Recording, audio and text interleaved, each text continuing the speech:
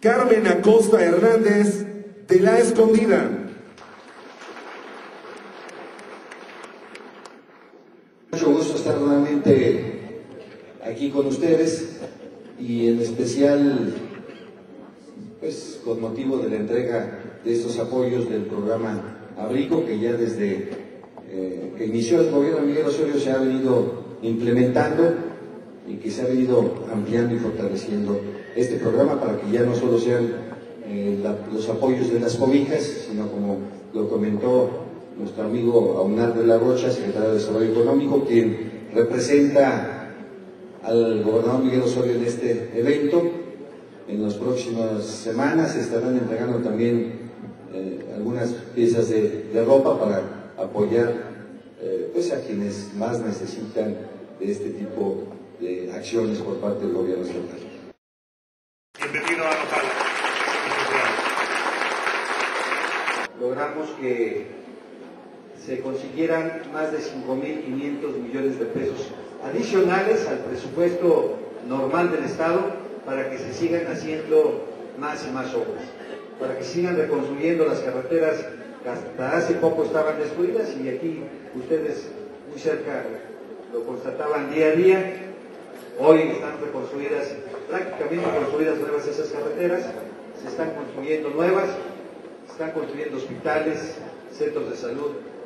y para eso van a servir esos más de 5.500 millones de pesos que se consiguieron para Hidalgo. Y no solo eso, la posibilidad también de que al conseguirse esos recursos, el gobierno de Miguel Osorio pueda destinar recursos estatales para seguir manteniendo los programas de apoyo a ustedes. Como es hoy el programa Abrigo que se inicia con la entrega de apoyos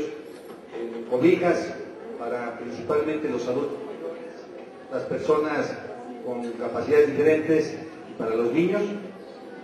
que es un programa que se ha ido ampliando en los últimos años para beneficiar a más,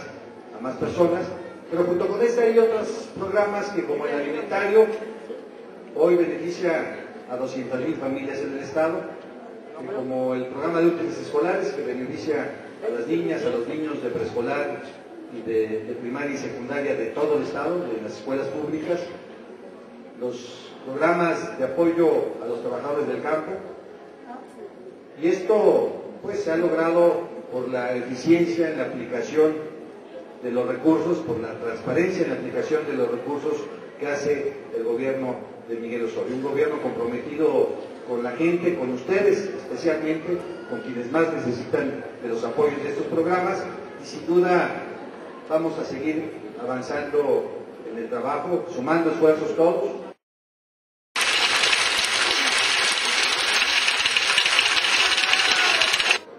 Y los recursos que se consiguieron para el año que entra nos permitirán, nos permitirán también, pues, que esas obras de infraestructura generen empleos en Hidalgo. Y bueno, aquí también tengo que señalar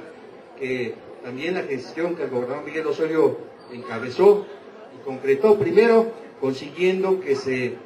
definiera que la construcción de la nueva refinería se haría en Tula.